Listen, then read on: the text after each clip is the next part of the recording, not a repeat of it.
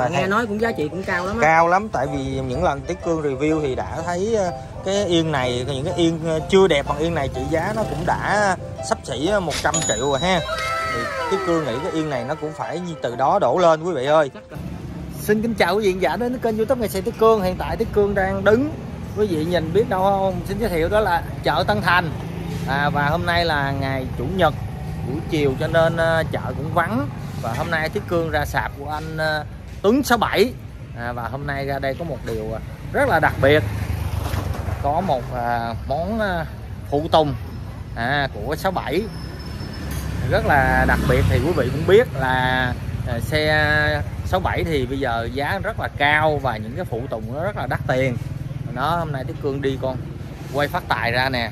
Đó Tiết Cương thì không có à, chơi 67 bởi vì đã từng chơi cách đây hơn 10 năm và bây giờ thì không theo kịp nó nữa bởi vì những cái ờ, xe zin và những phụ tùng zin mắc quá rồi. Tiết Cương chỉ review thôi. Và hôm nay Tiết Cương sẽ ra đây review để giới thiệu quý vị một món phụ tùng khá là đặc biệt của dòng xe 67 là con quay phát tài kế bên là một chiếc bay xì.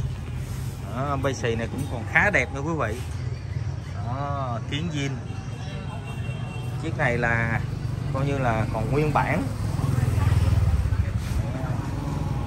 Kế bên là đây giới thiệu quý vị một chiếc xe.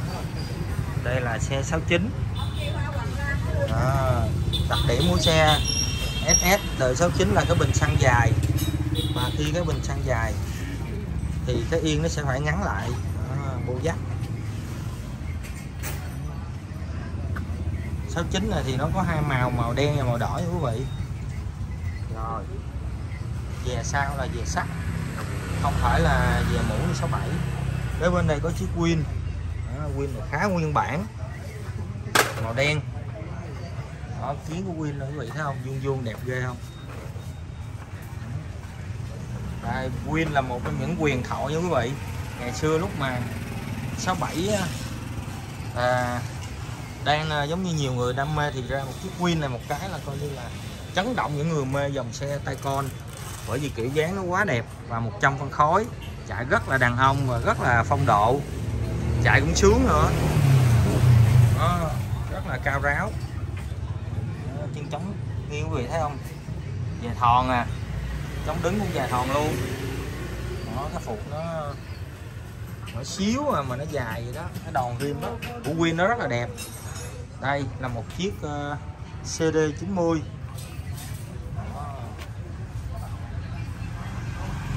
CD 90 cái bình xăng độc đáo vậy thấy không? Ủa cái bình xăng này là zin nó luôn hả anh Tấn? CL 90 à này cái bình xăng của CL 90 gắn qua nhìn cho nó thể thao như vậy. Ô chào anh Tuấn chào, rồi, chào anh. Rồi hôm nay nghe nói nghe nói có món hàng đặc biệt thì để Đức Cương ra đây giao lưu với anh em và giới thiệu quý vị đây mà gọi là món phụ tùng mà Đức Cương giới thiệu quý vị đó chính là đây. Yên xe 67 đó. gần như mới. Gần như là hoàn hảo. Mới nhìn đơn giản vậy ờ, chứ giá trị lắm nha quý vị, bởi vì ờ, trong những cái ờ, phụ tùng của xe thì cái yên là nó dễ hư nhất. Bởi vì thứ nhất là cái da yên nó rất là mỏng. Cùng với khí hậu của Việt Nam mình nắng mưa rồi mình chở hàng chở người này nọ rồi á thời gian thì nó sẽ bị ờ, rách sẽ bị mòn và sẽ bị mục. À, và khi một cái yên quý vị thấy không xe Honda 67 năm 1967 đến nay là đã 55 năm rồi. À, mà còn đẹp như vậy chứng tỏ là cái yên này chắc phải là gọi như là hàng tồn kho hàng phụ tùng tồn kho bao nhiêu năm trời lấy ra. Chứ nếu mà mình ờ, mình ngồi mình nó sẽ bị rách giống như yên DD hay là yên của Rim thì mới khoảng 30 năm hai mấy năm mà xe nào còn cái yên zin cũng rất là khó. À, đừng nói chứ yên xe 67 vậy là phải nói là vô giá như quý vị chúng ta sẽ vào đây phân tích cùng với chuyên gia. Xin chào anh Điền. Đó cho quý vị. Anh Điền đây cũng là chuyên gia gì anh có thể giới thiệu em cái chiếc xe này có điều gì đặc biệt không? Ôi lộn chiếc xe. Cái yên xe 67 cái yên này hả chứ cương? Dạ. Cái yên này á là nó là mới coi như là theo xe cái yên này theo xe nó khoảng đánh giá nó khoảng 90 phần trăm. Cái chi tiết theo xe là em thấy đây là nó theo còn xe là nó đã lắp vô nó bị ờ, có dấu lắp nè. À có cái dấu lắp này nha quý vị. À. đó. Rồi cái này á, là cái garanti là cái ốc này cái ốc đi yên này chưa tháo ra là nó có garanti nè. À. Cái garanti này là để, nó để nó siết cái đai phải không? À, nó siết vô nó khóa garanti nếu mình dặn ra là mất cái garanti này. À đó nếu mà nếu quý mà, vị nếu, nha. nếu mà mình tháo ra là nó mất cái garanti cái yên này là chưa tháo cái đai này ra luôn nha quý vị còn garanti luôn. À, đây cái phơm yên nó phơm yên nó chuẩn à. Người nhìn. Đây. Nếu mà yên mới á, yên còn đẹp á chứ cái gân nó còn nguyên cái gân nè đúng rồi. Cái gân này nè. Ừ. Đó. cái gân nó có cái gân có cái gân nổi lên tí xíu. Nhìn kỹ nó có cái gân. Dạ. Nếu mình ngồi lâu quá ngồi nhiều quá nó xẹp mất cái gân này. À.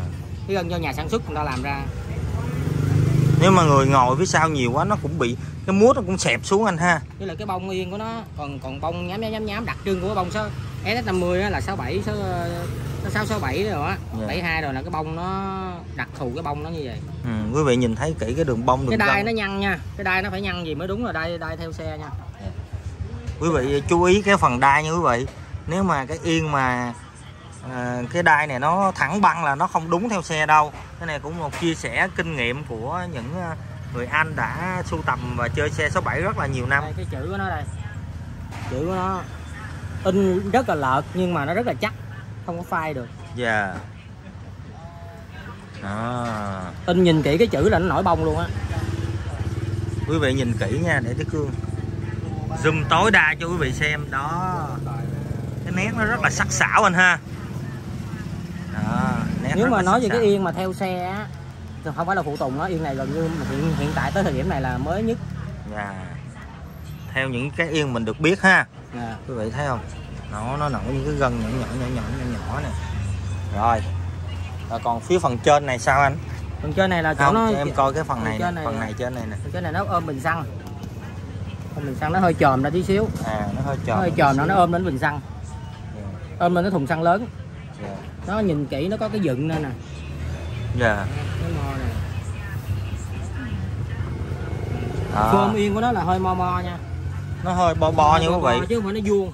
Nó không vuông nếu nha mà nhìn thấy cái thiên vuông có thể là yên của hàng hàng 11 hay là hàng à, Việt Nam gì đó. Còn yên theo xe nó bo. Quý vị thấy không? Nó nó hơi bầu nha quý vị. Nó hơi bầu xuống này nó hơi bầu nè. Đó có cái độ bầu. Rồi và đây phần đến sáu- phần đế yên. 6 lỗ. 8 lỗ. 8 lỗ 8 lỗ. 2 4 6 8 cái cục này nó gác lên cái sườn. Cái cục này nó gác lên cái sườn để cho để nó chống lắc á. Dạ. Gác lên cái thân sườn á. Đây nó gài vô thôi gài vô cái chân gài gài vô cái ờ, cái sườn chỗ gần chỗ bình xăng. Đúng rồi cái để chịu lên thân sườn. Hai ngóc này bắt ngày sau cái đuôi sau. Dạ. Hay cho cái chữ y ngoài sau á. Cái phần lõm này là nó để dùng để ờ, né cái bô cái cái bô e á. Tức là cái lọc gió mà đặc biệt sao em thấy sao cái này cái lỗ này nó vô sâu quá anh? Để nó để giảm chấn á. À. cho mình ngồi lên nó nó lúng á. Nó tăng thêm cái độ nhún của yên á. Đó, lỗ này lỗ lỗ lỗ sâu á. Dạ. lỗ điên đó chứ không phải là không phải là nó có sẵn hai cái lỗ như quý vị. Ờ. có nghĩa là 6 quý vị thấy 8 lỗ thì 6 lỗ này là nó có nó bít lại. Nhưng mà có hai cái lỗ giữa này là nó nó ngón tay mình rỗng được vô rất là sâu. cái mút nó là, là nó có lỗ sẵn luôn. Dạ cái này chi tiết này quý vị nhớ lưu ý nha để xem. Là những cái móc này chưa tháo ra nè. À, những cái móc này là móc yên riêng nó chưa tháo ra nè. Dạ. Nếu mà tháo ra rồi là mình đóng lại là sẽ có dấu kế bên. Dạ. Đó, với lại cái cái móc này nó sẽ bị xét mình bẻ ra nó sẽ bị xét Quý nó dợp sơn. nhìn kỹ nha quý vị. Cái này là nó nó còn cái dấu sơn zin nè. Dạ. Nếu mình bẻ ra mình bẻ vô là nó bị dợp nước sơn nó dợp ha quý vị nhớ nha. Mình bẻ ra mà đóng lại là nó sẽ dợp con này nó còn nguyên nè. Đó rồi một số ờ, chia sẻ về kinh nghiệm xem yên 67 zin chia sẻ đến quý vị rồi cho em hỏi cái yên này bây giờ mình xuất xứ là từ đâu mình nhập về để có một cái yên đẹp như vậy anh? Yên này là do Nhật sản xuất. À. Theo cái anh chủ này anh chia sẻ là cái yên này à, đến về từ nước ngoài nhập về. Yên này phải nhập từ nước ngoài về. À, cái nước nào thì chưa rõ. Nhưng mà dạ. Nhưng hàng Việt Nam mình sẽ không bao giờ có cái yên đẹp như vậy nha quý vị Việt Nam mình xài hư hết rồi. Hư Việt hết Nam hồi rồi. xưa cũng vậy luôn nhưng mà nó xài hư hết rồi. 52 năm rồi. Mà em nghĩ nếu mà một chiếc xe để mà năm mươi mấy năm mà không có chở người chắc cái yên nó cũng tự mục anh ơi. Đúng rồi. Chỉ có Khí bảo quản trong cái điều kiện nào á cái khí ha hậu mình nó nóng quá. Nóng nó quá. mấy độ rồi nó À. bị mục hết. Còn khí Rồi. hậu bên nước ngoài người ta khí hậu nó nhiệt độ nó thấp á. Anh có thể chia sẻ cái trị giá cái yên, cái yên này à, là khoảng bao nhiêu không cái này yên này cũng vô giá cũng chưa Vô biết giá, chưa dạ. chưa xác định được dạ. nhưng mà nghe theo- nói cũng giá trị cũng cao lắm cao lắm tại vì những lần Tiết Cương review thì đã thấy ờ, cái yên này những cái yên ờ, chưa đẹp bằng yên này trị giá nó cũng đã sắp xỉ 100 triệu rồi ha thì Tiết Cương nghĩ cái yên này nó cũng phải như từ đó đổ lên quý vị ơi chắc cỡ đó nhưng mà mình không biết mình chưa có hỏi rõ nguồn gốc cái giá Dạ. trị nhưng mà chắc chắn đây hiện giờ đây là cái yên rin yên rin theo xe 67 dạ, rồi, Việt Nam và nước ngoài đều xài chung cái yên này hết. Một Dạ. loại một chứ không có gì châu Á châu Âu gì hết á. Dạ. rồi rất là cảm ơn anh Điền đã chia sẻ cùng với Tiết Cương một số kinh nghiệm để ờ, xem cái yên xe 67 Rin à, quý vị ờ, nào có ờ, chơi xe 67 thì nhớ những chi tiết mà đã review như vậy nhất là phần đai nè. Đó rồi phần chữ của yên nè rồi những cái ờ, đuôi yên có những cái đường ngấn nè rồi những cái móc mà mở ra mở vô. Nếu mà đã thay da yên thì nó sẽ ờ, cái cái nước sơn nó sẽ bị dọp. Và quan trọng là cái warranty của cái đai nha quý vị. Rất là quan trọng là cái warranty này.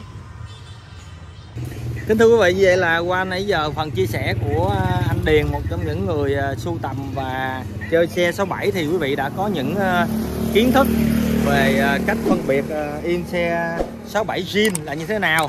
À, đối với những người chơi xe thì những món phụ tùng này rất là quý quý vị ơi và họ à, sẽ sưu tầm và họ đắp vô chiếc xe họ những cái chi tiết nào còn thiếu chưa có đẹp.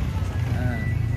Cảm ơn quý vị đã theo dõi clip Tiết Cương ra chợ Tân Thành để review Yên xe 67 đẹp lung linh mặt trời. Xin chào tạm biệt quý vị, hẹn gặp lại những clip sau.